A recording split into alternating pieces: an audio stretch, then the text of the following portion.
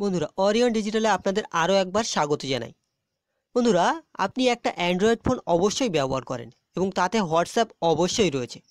তো আপনি আপনার হোয়াটসঅ্যাপের থিম কীভাবে সেট করবেন? আপনি দেখে থাকবেন কারোর হোয়াটসঅ্যাপের থিম এরকম সাদা অথবা কারোর হোয়াটসঅ্যাপের থিম এরকম কালো হয়।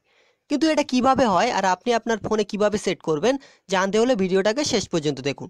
আর আপনি যদি আমাদের চ্যানেলে নতুন হয়ে থাকেন, তবে চ্যানেলকে সাবস্ক্রাইব করে বেল আইকনে প্রেস করে অল বাটনে ক্লিক করুন। হোয়াটসঅ্যাপে থিম সেট করতে হলে আপনি আপনার ফোন দিয়ে প্রথমে হোয়াটসঅ্যাপ ওপেন করবেন। হোয়াটসঅ্যাপ ওপেন করলে উপরের দিকে ডান দিকের কোণে যে থ্রি ডট দেখতে পাচ্ছেন, সেখানে ক্লিক করবেন। সেখান থেকে সেটিংয়ে চলে যাবেন।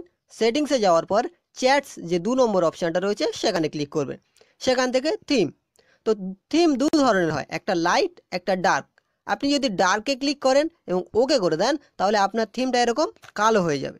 দেখুন, আপনার থিমটা হোয়াটসঅ্যাপে যে থিমটা রয়েছে, এরকম কালো হয়ে যাবে। অথবা আপনি যদি এটাকে আবার চেঞ্জ করতে চান বা ওই রকম সাদা করতে চান, তাহলে আবার থ্রি ডটে ক্লিক করবেন, সেখান থেকে আবার সেটিংসে চলে যাবেন, সেখান থেকে আবার চ্যাটস চ্যাটসে গিয়ে আপনি আবার থিমে ক্লিক করবেন থিমে ক্লিক করার পরে লাইটে ক্লিক করে ওকে করে দেবেন। দিলে আপনার থিম এরকম আবার সাদা হয়ে যাবে। দেখুন হোয়াটসঅ্যাপের থিম এরকম সাদা হয়ে যাবে। তো আপনি আপনার প্রয়োজন মতো বা ইচ্ছা মতো হোয়াটসঅ্যাপের থিম এভাবে চেঞ্জ করে নিতে পারেন।